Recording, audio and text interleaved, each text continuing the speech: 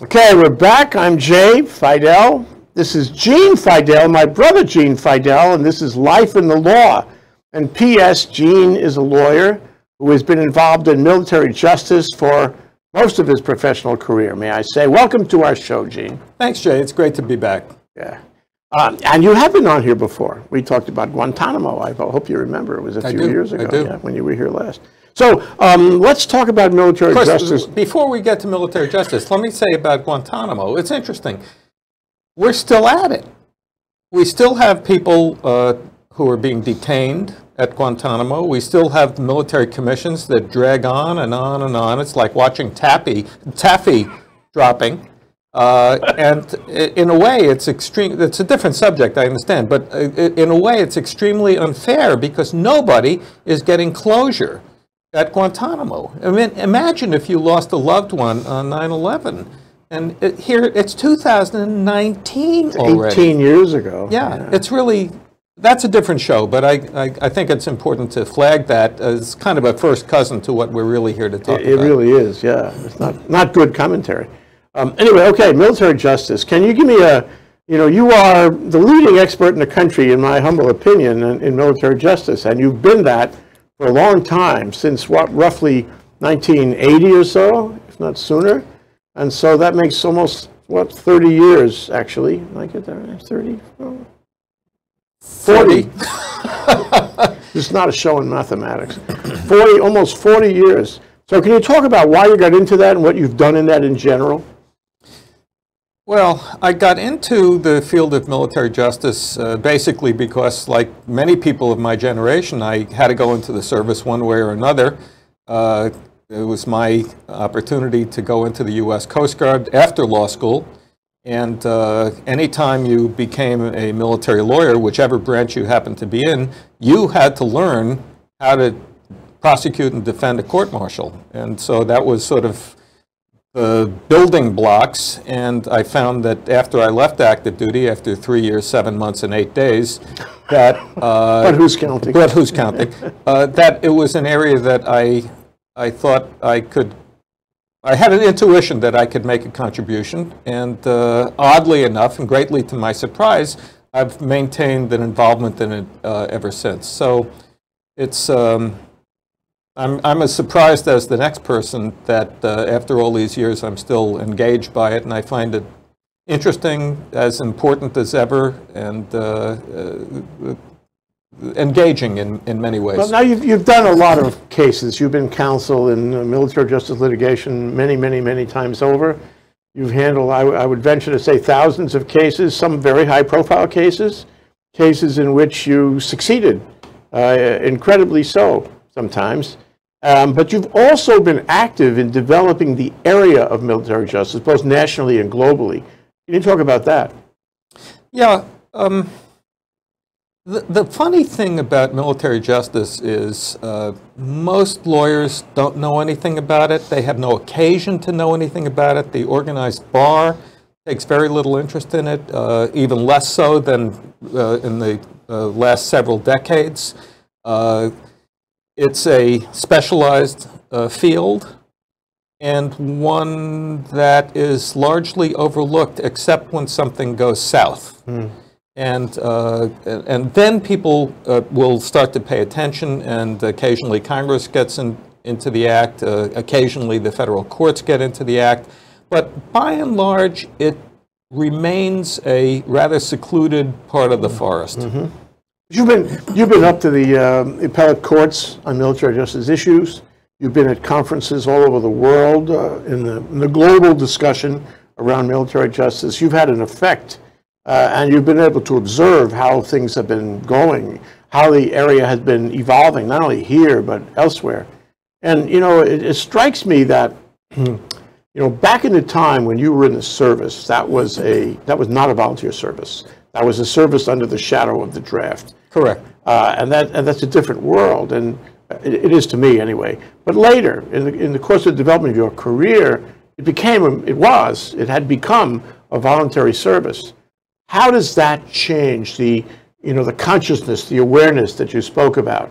uh, the concern, the involvement um, of, about military justice? Yeah, I, I think it changes in two ways. Number one, uh, you didn't have, you don't have in the all volunteer force era that we're currently in, uh, and have been in since the mid 70s, you don't have the constant influx of uh, lawyers who everyone knows are going to be coming in and leaving. Uh, instead, people tend to come in, maybe it's only a matter of degree, but they tend to come in with more of a, at least potential expectation of remaining for a career.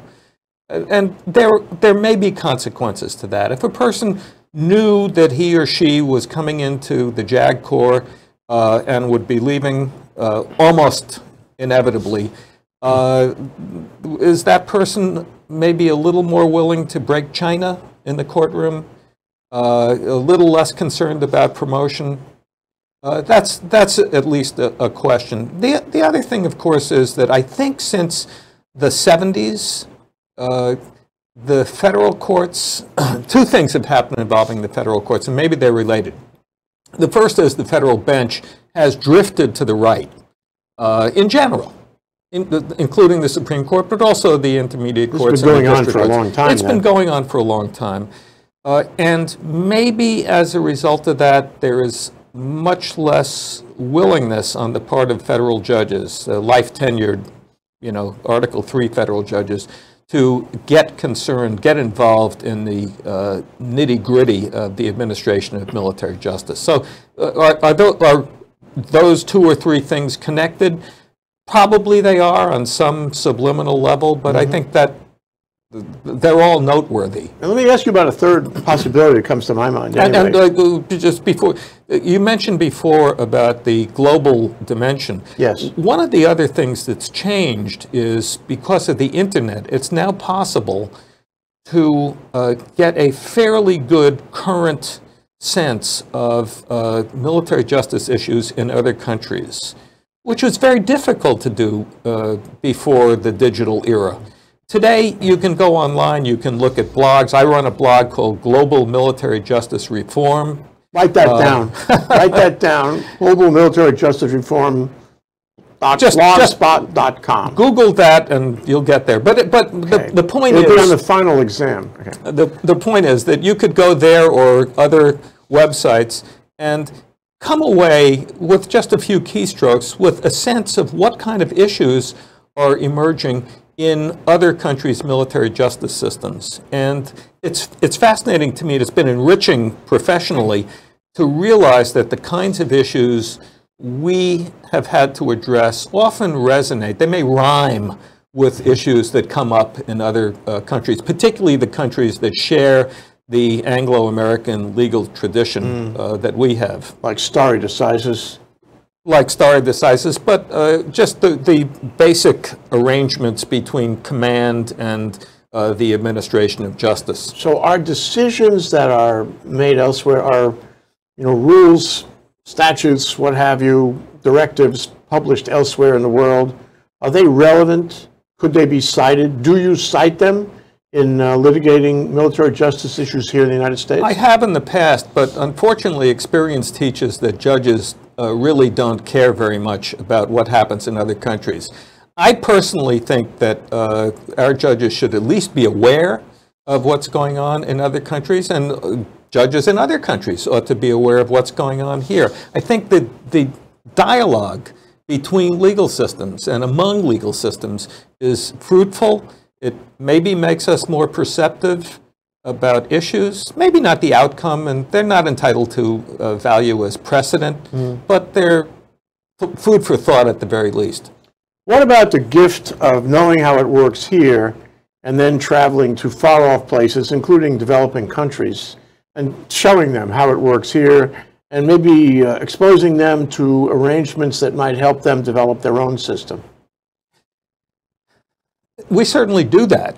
Uh, we, we have uh, programs, there's a program uh, run out of uh, Newport, Rhode Island, uh, that uh, carries, the, shows the flag basically and uh, assists third and fourth world countries in uh, bringing their military justice systems uh, up to contemporary standards, or at least beginning to approach contemporary world standards. And we're talking about human rights standards, by the way, when in this part of the forest.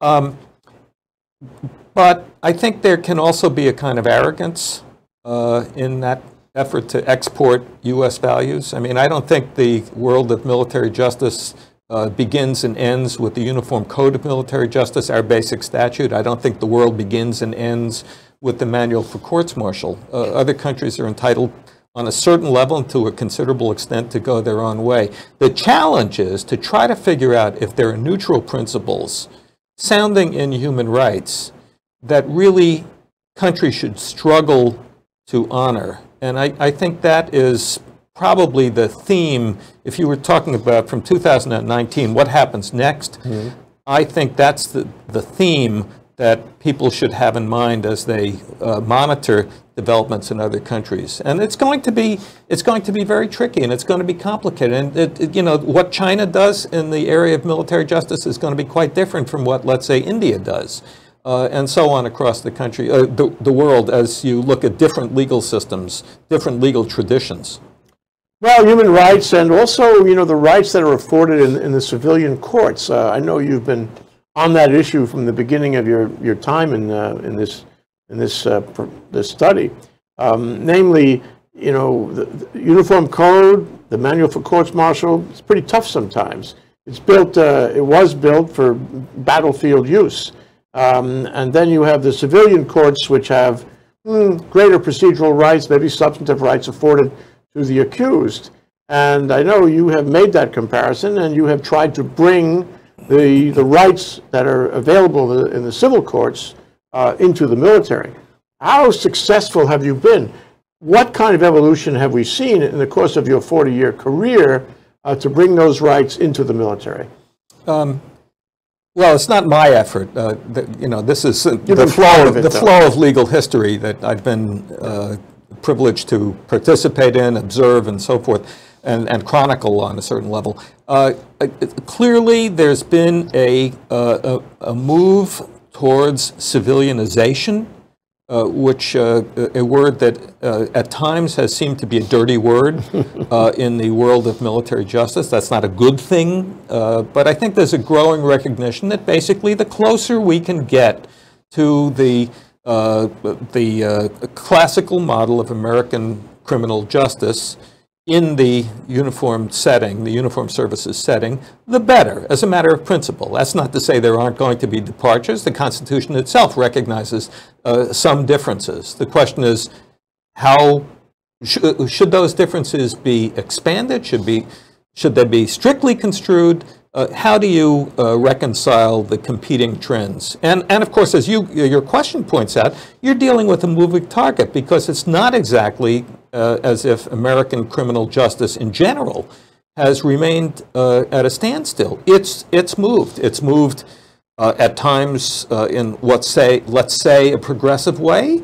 Um, but at times there can be retrograde developments as the Supreme Court and other federal courts have drifted to the right, uh, at times lurched to the right. Uh, You know, do we see that happening in the area of military justice? I certainly can think of one illustration where uh, during the Warren Court era, we had a decision that restricted court-martial jurisdiction to offenses that were service-connected. The off-base rape, for example, could not be prosecuted in a, uh, a military court, a court-martial.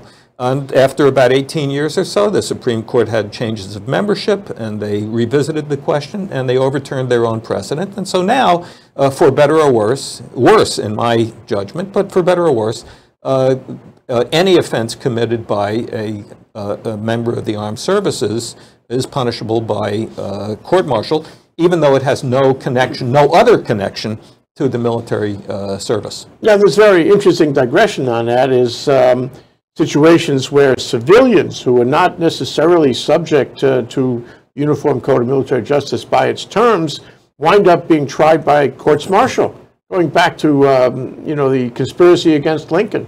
Well, that, that's exactly right. And there, there are two dimensions uh, here. The, the first is, uh, and, and this is mostly a foreign human rights story.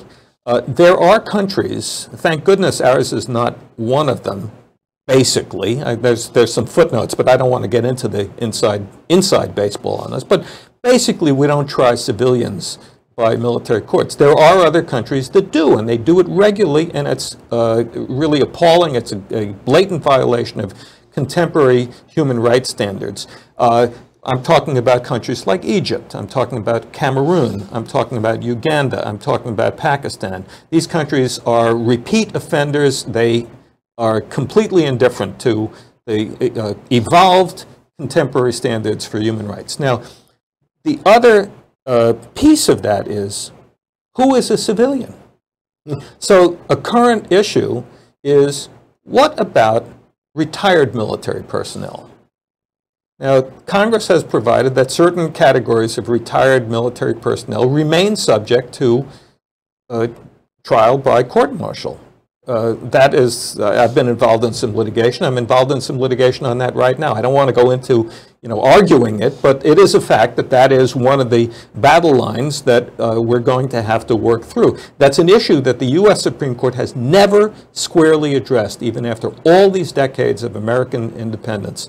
Uh, so that's that's really going to be a fascinating one.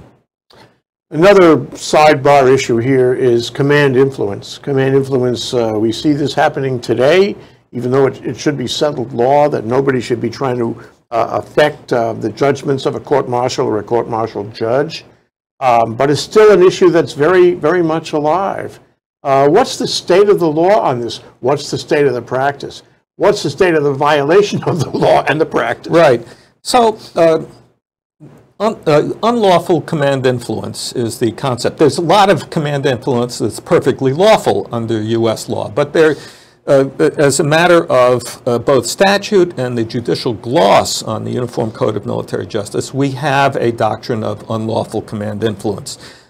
This is essentially a distortion of the judicial process in ways that either are specifically unfair to an accused or call into question public confidence in the administration of justice. There's two different uh, concepts working. Uh, the first of these is called actual unlawful command influence. The second is apparent unlawful command influence.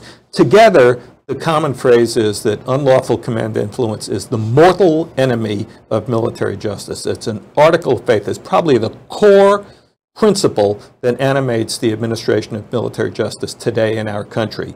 Uh, you cannot have a conversation about uh, unlawful command influence uh, without talking about two things. Number one, uh, how does this relate to Congress? Because members of the Senate and House seem to be much freer with their advice and opinions about things uh, concerning specific military cases than they would ever dare to be about uh, cases pending in the federal district court. And more than they were in the past. And more than they were in the past. Uh, the, uh, this is something that Congress is going to have to fix uh, as a matter of their internal ethic.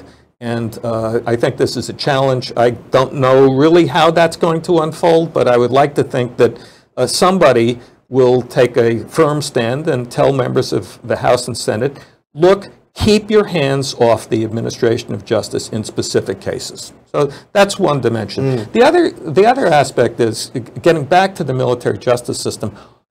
It is a fact that cases of unlawful command influence, both actual and apparent, arise with amazing regularity.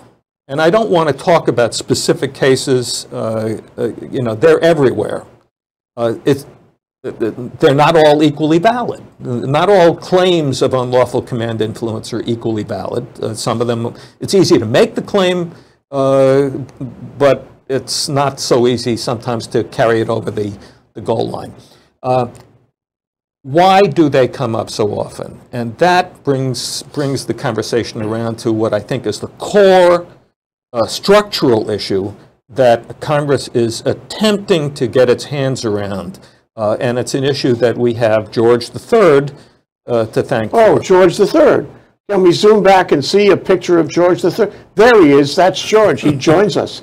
And, and let me say, George, if you want to say anything, this is your big opportunity. We're, we're waiting. but here's the, here's the problem. The problem is that the military justice system that the colonies inherited from the UK uh, is still uh, with us today. The core proposition is that the role of the commander uh, remains central to the administration of justice. And we still have that today, even though Congress passed uh, uh, ex uh, exceptionally broad, comprehensive changes only recently in the Military Justice Act of 2016 that just went into effect. The heart of it, Congress left uh, unaffected. And the heart is that the commander is responsible for deciding who gets prosecuted for what offenses at what level of severity. The commander also has certain other responsibilities that Congress left unaffected, such as picking the members of the military jury. And, and reviewing the result, no? Well, that's been, that's been dialed back uh, okay. over time. But, the, but negotiating pretrial agreements, for example, remains a command function. Mm. So where this is manifesting itself right now is in the ongoing conversation, uh, mostly in the Senate, about the bill introduced by Senator Kirsten Gillibrand of New York called the Military Justice Improvement Act that would basically take away from the commander, who is ordinarily a non-lawyer, almost invariably a non-lawyer, the power to make charging decisions and give it to a legally trained attorney, a judge advocate, uh, outside the chain of command, so that you would not have uh, a merging of functions. You'd not have uh, the risk of conflicts of interest, for example, where the charging decision was made by somebody who might have an interest in saying, this accused is a terrifically lethal fighter pilot. I'm not going to send this case to a general court martial. Mm. Uh, or uh, uh, uh, allowing other considerations to come into play other than what are the demands of a criminal justice system. Mm. So that's, that's the sort of looming issue right now, and uh, maybe viewers have seen the recent hearing before the Senate Armed Services Committee where Senator McSally, uh, a, uh, former fighter pilot herself, uh, talked about her own sexual assault. Uh, Senator Gillibrand was very vocal about this. I think uh, one of the Hawaii senators was present at this hearing. Uh, uh, this is an issue that uh, senators have to grasp the nettle on and decide, are we going to continue with basically an 18th century system, or are we, like other countries, ironically included Great Britain, including Great Britain, have abandoned in favor of having prosecution decisions made by trained lawyers outside the chain of command. So that's, the, that's the biggest single institutional issue we're dealing with. Military lawyers. The, the, yes. the special, the special prosecuting person is a military lawyer. Uh, yes. I, under the code himself. Uh, or herself. Yes, right, right. Now, uh, let me say, if you were working on a clean slate uh, and were really willing to think outside the shower here, you could well say that prosecution decisions should be made by, let's say, uh, somebody in the criminal division of the Justice. Department. Mm. You might have, for example, a chief military prosecutor in the criminal division at the deputy assistant attorney general level. That would be a very different system. There are countries that have civilianized the prosecution function. Uh, other countries have not done that. So to be clear then, um, this would not affect uh, Article 15 masts, non-judicial punishment. It would only affect court martials? Well, the, there is an issue where you would draw the line. Yeah. So the minor disciplinary matters should, uh, in my opinion, and I think most people, even people who support the reform, uh, would agree, uh, should remain within the, uh, the bailiwick of, of commanders. Uh, it, the question is where you draw that line, and one year is the line that the Manual for Courts Martial actually draws in defining one year's punishment, uh, confinement, is the line that courts martial ordinarily draw between minor disciplinary matters and matters that are more like criminal offenses. Now, what you, but your question, Jay, raises a very interesting issue, and it's the next big thing that has to be studied. There are uh, some hundreds of courts martial every year. There are tens of thousands of minor disciplinary proceedings called non-judicial punishment, Article 15, office hours in the Marine Corps, uh, captain's mast in the Navy and Coast Guard. Uh, this is sort of the low level, low visibility administration of justice that actually uh, is much less well known, but has much more uh, impact where the rubber meets the road, out in the fleet, out in the field, uh, in the administration of justice, as it affects most GIs. And what, what uh, is, I think, beginning to take shape now, and I, I hope to be able to play a role in this, is a serious national and international conversation about how summary discipline should be administered. Are there some neutral principles that apply? Uh, is it possible to reach common ground? Uh, who should be prosecuted for what by these, these administrative, non-judicial uh, sanctions? Uh, it's very interesting. It's very understudied, under-theorized. Uh, these cases occasionally get into the federal courts, but it's unusual. Uh, so that's, that's sort of the next, the, the next big thing. But the baseline there is that the commander on the scene, on the ship, in the battlefield, has to have the ability to um, mete out summary punishment in order to maintain good order and discipline. Right. If he, if he has to wait on a bureaucratic process that must wait on other personnel, other legal personnel, uh, when he gets back to port or back to a larger command, he, he will not be able to mete it out summarily.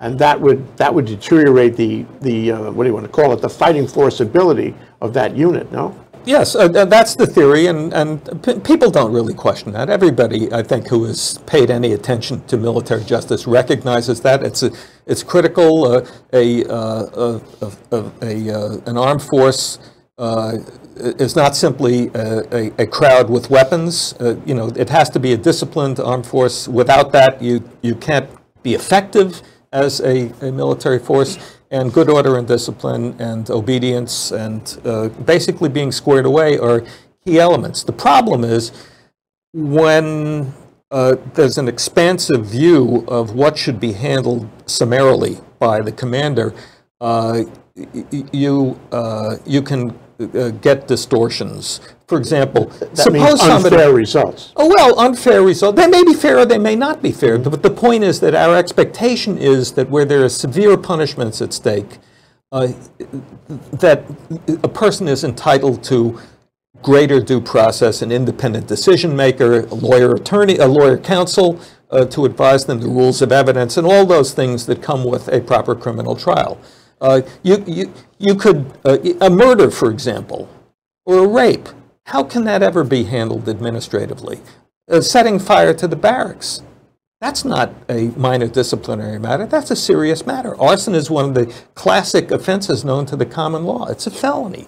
So uh, things like that, uh, you know, obviously, uh, in my view, should be removed from the, the commander's discretion. So one of, one of the uh, issues that, you know, that and you talk about it, um, is the notion of confidence in the administration of justice. Yes. And that certainly applies in the larger realm of civil law, civilian law, um, and, well, I guess in criminal law in the civilian side of things. But in the military, in a volunteer force, which is not necessarily connected so much as a, a conscripted force was connected with friends, family, you know, all that, where they would talk to people outside, outside the military box more. Um, how important uh, is it that we have confidence in the administration of justice um, now that we have a volunteer force where the public doesn't really know what's going on anyway? Well, uh, I think it's at least as important in an all-volunteer force environment to have public confidence in the administration of justice. Why is that? You, you might think the, the exact opposite. The reason it's at least as important, and I would say more important, is because it relies on people to volunteer. It relies on families being willing to say, it's good that my son or daughter wants to go into the military. It relies on people who are already in the military in staying in the military. And if people and families and people of uh, you know service age and that age bracket that we look to for uh, new recruits, don't have confidence in the administration of justice, they're going to vote with their feet. They're either not going to sign up, or when the opportunity presents itself, they will leave rather than re-enlist. If they have a funny feeling that maybe the system of justice uh, cannot be relied on with that conviction, no pun intended, but that conviction that we really need to have as uh, participants in a democratic society. And, and I suppose that if we ever needed to return to a conscription, I'm not sure that will ever happen or could ever happen. might. But it might happen.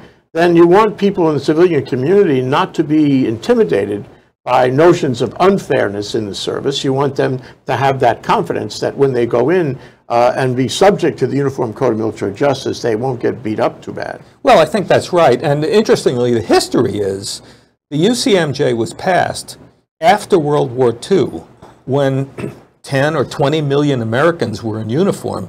There were a lot of uh, unfair trials. Members of Congress were elected after they came back from World War II uh, who were veterans, and they came en masse to Congress feeling that this is a system that needed to be reformed. That's, that explains why the UCMJ was passed in the first place in 1950. It was because of uh, concern about the administration of justice in World War II, a concern, by the way, that was felt by other democratic countries. One last question, Gene. I, I wish we had more time. There's really so much more that flows out of this conversation. But, you know, going forward, you've been, you know, in the conversation about the reform of military justice since the late 70s, early 80s.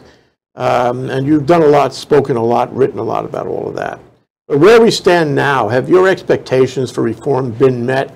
Um, and if not, what, what do you think is, and you mentioned this in part before, what do you think are the most important initiatives that we need to be concerned about to reform ourselves so that we have mm, a more a more equitable system, a system that conforms with the best human standards?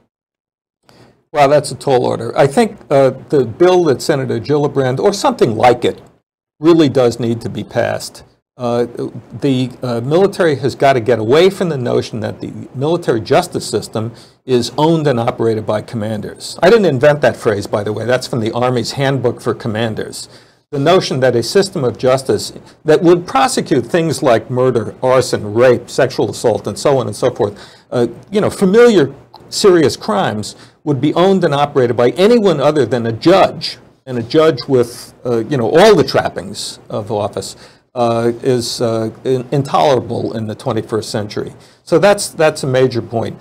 Uh, what I, I, I think, having lost uh, any real basis for optimism in terms of the federal courts, unless the Supreme Court changes dramatically in the next few years.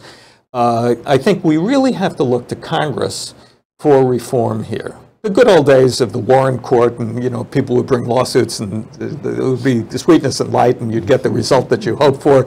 Those days are largely over. Not always, but largely over. So the answer is that we need a Congress that is knowledgeable and smart about this, one that is not going to be gullible, one that is going to conduct meaningful hearings, one that is going to ask tough questions, and one that is going to be willing to take the system into the 21st century. So far, the jury is out on that. I hope that uh, there'll be grounds for optimism, particularly with the new House of Representatives. We'll see what happens uh, at the next uh, elections in 2020 when uh, the Senate may, uh, you know, see some changes, and uh, when perhaps there'll be a change in the White House. Well, looking forward to that. Gene Fidell, my brother, thank you so much, Gene. A pleasure. Aloha.